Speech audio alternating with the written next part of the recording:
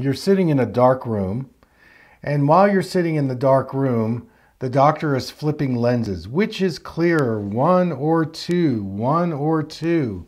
And you probably have no idea, so you choose number one.